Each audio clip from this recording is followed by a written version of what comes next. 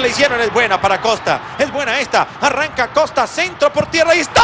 ¡No puede ser! ¡No puede ser Wilder! Se acaba de perder el primero del compromiso.